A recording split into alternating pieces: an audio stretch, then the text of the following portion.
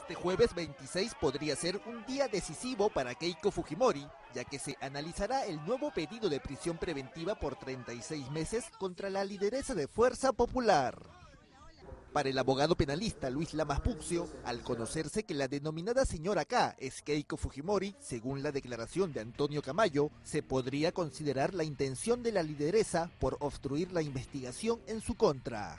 Esto no solamente pone en evidencia que la señora Keiko lidera esta agrupación política, sino que también habría coordinado de manera significativa a través de una serie de personajes también vinculados a la investigación a los efectos de obstruir, entorpecer o paralizar la investigación, que es una de las exigencias para que proceda la prisión preventiva.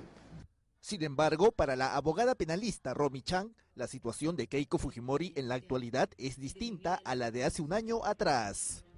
Y yo la verdad allí no veo eh, que realmente haya un cambio radical respecto a dos elementos de la prisión preventiva. O sea, que haya un nuevo elemento que pueda sumar algo distinto como para volver a imponer una prisión preventiva que no se haya evaluado por el Tribunal Constitucional. Y me refiero a esto a dos puntos en concreto. Es el tema del riesgo de fuga y el peligro de obstaculización. Por otro lado, el mismo 26 de diciembre se analizará el pedido de 18 meses de prisión preventiva contra el abogado Humberto Abanto por el caso arbitrajes de Odebrecht.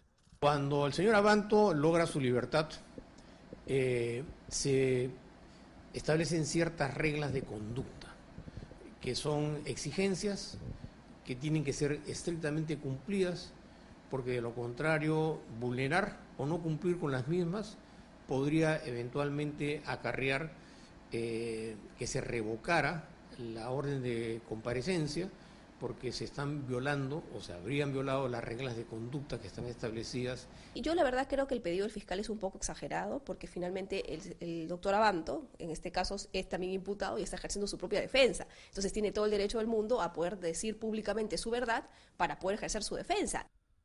Para la Fiscalía, Abanto ha brindado información de la investigación en su contra a los medios de comunicación, a pesar que las normas de conducta impuestas se lo impedían.